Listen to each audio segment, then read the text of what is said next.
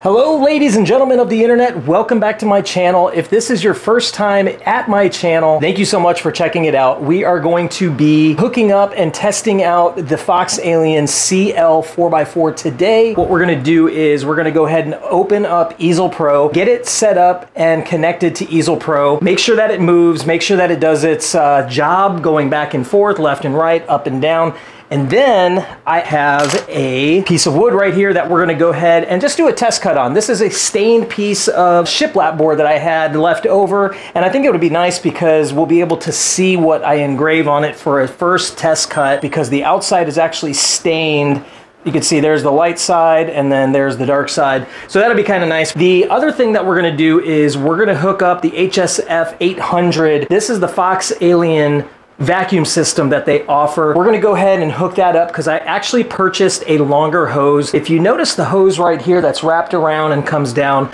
that hose is only like maybe five or six feet and it is not gonna be long enough for this machine. So when this comes all the way to the front, it just isn't gonna work. I think that I should be okay with a 10 foot hose. I got this hook right here at Lowe's. They sell this over there by their PVC, what I'm thinking is up here, over here by this light, I'm going to hang this hook. That way that piece of uh, tubing can come down across and then hang inside that hook. Inside one of those boxes right there, I have the tubing that should work for this. I hope I ordered the right thing. Let's go ahead and get this hooked up first because that is the last step. You see I've got my laptop stand right here, which is pretty awesome. I think it was originally like 50 something, but I got it on Prime Day for like 25 bucks, something along that lines. I'll put a link in the description if you're interested in this. Uh, it's just gonna make my job a lot easier. The other thing that I had to do with this machine because of that, you could see right here, this cord going down, the cable that came with the machine, this cable was only like I think, let's see, four and a half, five feet long, because it's not even as tall as me, so maybe five foot. But I, what I did was I ordered a 10 foot cable.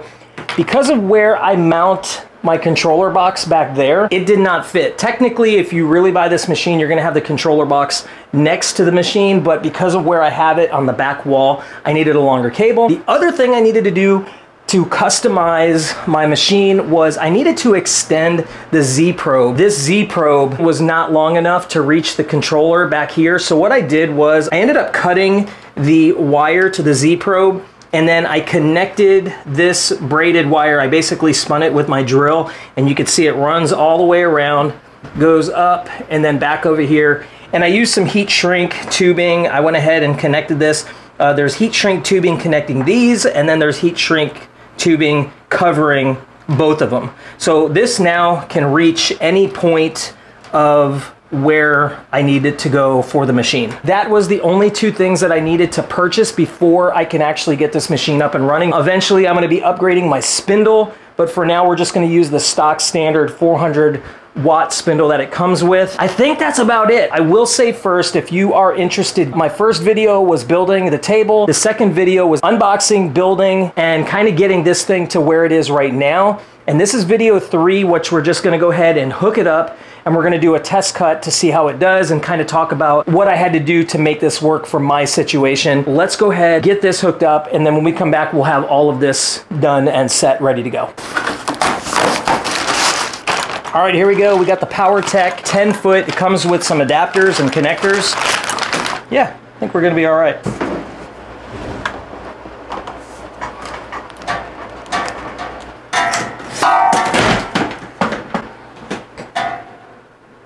fail.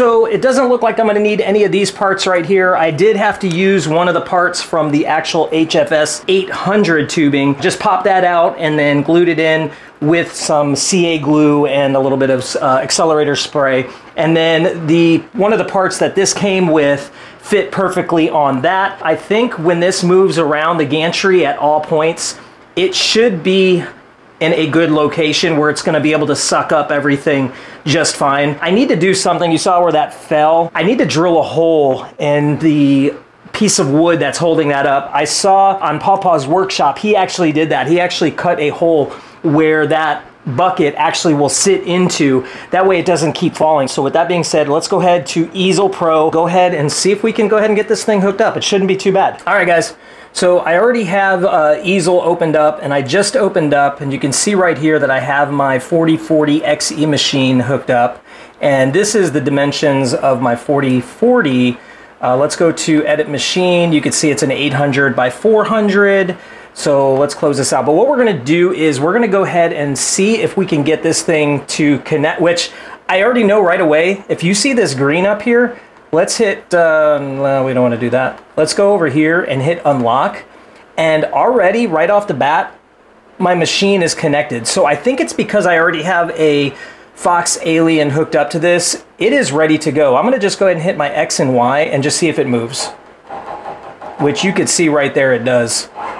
So technically, I can just leave this connected, but I am not going to do that. What we're going to do is we're going to create a new machine because I want to make sure that I don't mess with any of these settings. I don't want to have to keep going back and forth, changing my 800 by 400 to 1220, 1220 every single time. Uh, I just want to add a new machine, so let's go ahead and do that. Let's go ahead and set up a new machine. We're going to come over here and Let's go to other third party. We're going to call it, um, it doesn't really matter. We're going to call it, see Fox Alien. And I don't know if they don't. They don't have this machine in the system yet. So the CL40 4x4 is not in there. So let's just hit other. Um, it is GRBL controlled and it is a 1220 by 1220 working area. And I do have a dust shoe. And let's confirm the settings. Um, the machine is turned on. We're going to call this a new machine. And I think I already know that this is going to work. So let's go ahead and just do the X. Yes, that works. Yes, that works. Y axis. Works fine. Works fine. And let's do the Z axis up and down. works fine. So we're going to say yes, yes, yes. And what I did off camera was I did add in the bit. So that is going to be a 1 8 inch downcut bit. And let's go ahead and hit continue. Um, it's an automatic spindle because it's basically connected. So let's save that. And the spindle turns on, so does my back. All right, so we're good there. Hit continue. Uh, we're going to enable homing and we're going to start the homing sequence.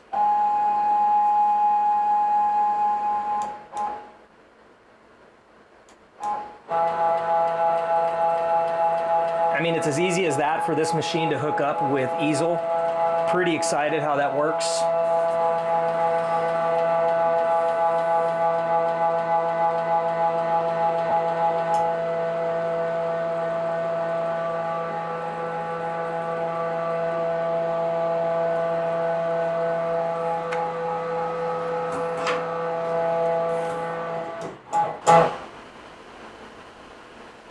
Right, so we went ahead and we got the um, homing done. Let's go ahead and see if the Z-Probe works. This is gonna be the first time that I use this Z-Probe since I actually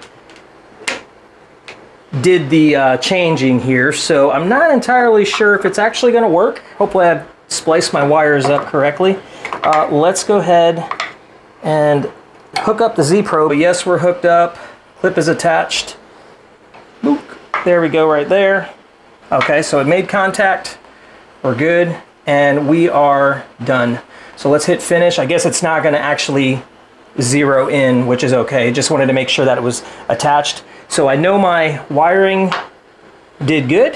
What I want to do is, let's go ahead and try this project here. I think that might look kind of cool. You could see right here, uh, we're going to use this piece of wood in this long direction. We're going to go ahead and put it down like this and uh, hopefully we'll be able to get this to work. Uh, with that being said, let's go ahead and I want to move this out of the way.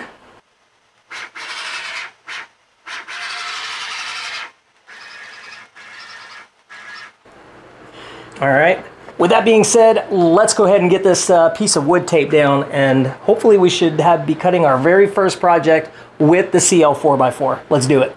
All right guys, so I went ahead and I just used the blue tape CA glue, which is actually super glue from Harbor Freight Tools, and activator. And I got this uh, nice piece of wood buckled down with that uh, method, but I, I, didn't record it. But if you've never seen that before, uh, most people do this because it really keeps everything nice and tight without having any kind of metal things to break your bit that you can hit. Uh, I really like this method. Now what we're gonna do is we're gonna go ahead and zero the machine in over here to this bottom left-hand corner. So let's go ahead and do that.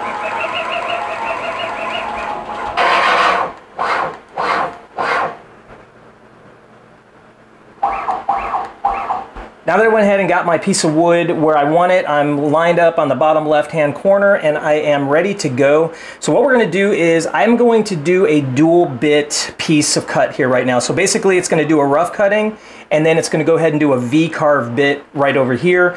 So what we're gonna do is let's go ahead and zero in and carve the piece. I'm not too sure, I don't really care about how thick the piece of wood is. I do think it's about 19 millimeters. Uh, I don't worry, not worry too much about uh, the cut settings, although we will go to manual. Let's go ahead and check everything off on manual. I think what I want to do is let's just go ahead and hit two millimeters and see how fast we can get this done because I think we are good to go. I think we're good. I'm going to go with that. I'm just going to leave it at the 3.6 millimeter cut depth, everything as is. So let's go ahead and just carve it. So it's probably gonna do two passes of everything. The first one's gonna be two millimeters and then 1.6 millimeters for the second pass. All right, let's go ahead and carve it. Yep, we're gonna confirm. Yep, the piece is secure.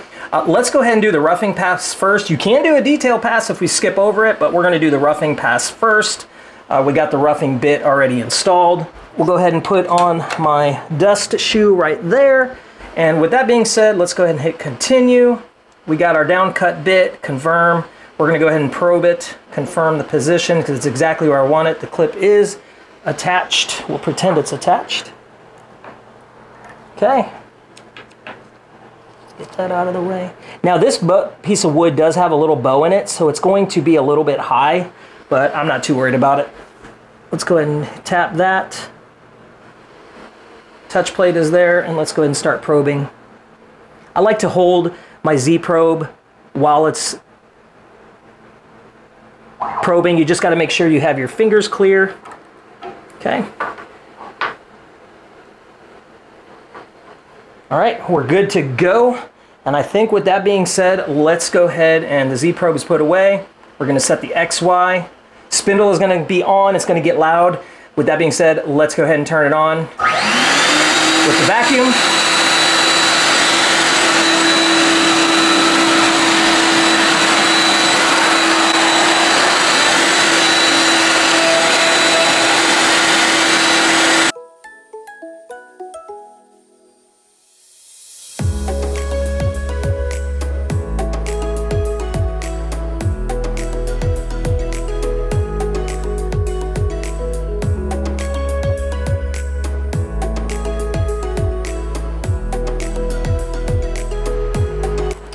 So what we're gonna do now is we're gonna change out this bit. Take that bit out, we'll set that off to the side.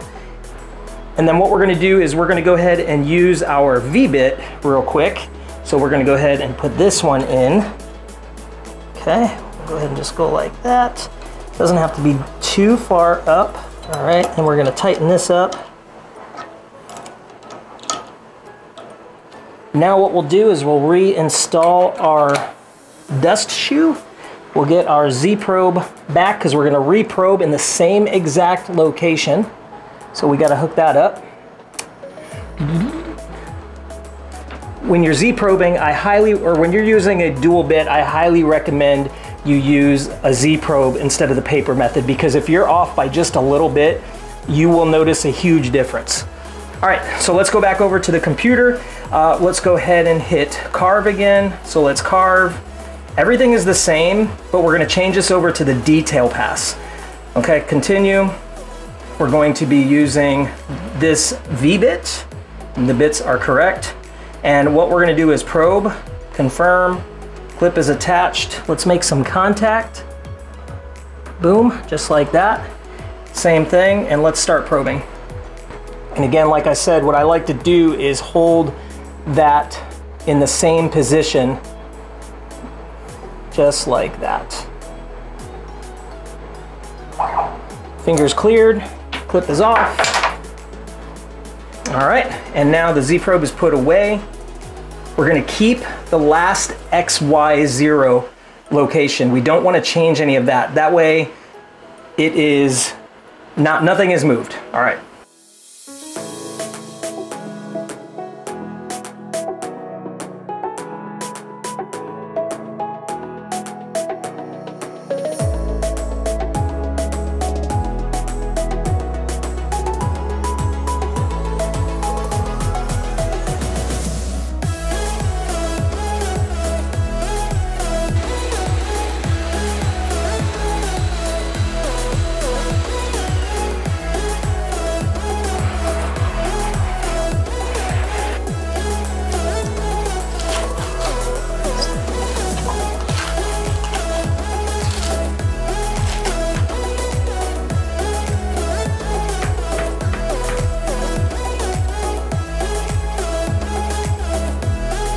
All right, guys, that is it. That is the video. Check it out. There is the very first test cut. I am super happy with this. This is something that I would have no problem putting on the wall or giving to somebody, which I am going to do. I'm gonna be actually sending this to Florida to one of my friend YouTubers who is a longtime subscriber, longtime follower. I follow his channel, CTR Adventures. He does some really cool, awesome fishing videos with him and his family. Uh, they do outdoor uh, adventure videos and stuff like that. So he was repairing and fixing up a car and he was cracking me up because he was talking about being a YouTube certified mechanic. So we made him this right here. I'm gonna go ahead and stain the edges and I might even put a little hanger on the back. That way he can hang it on the wall, be ready to go. So this is going down to Florida to Chris. Thanks so much for being a longtime subscriber and uh, a good friend. I actually message him on Messenger and stuff like that. So this machine right out of the box, absolutely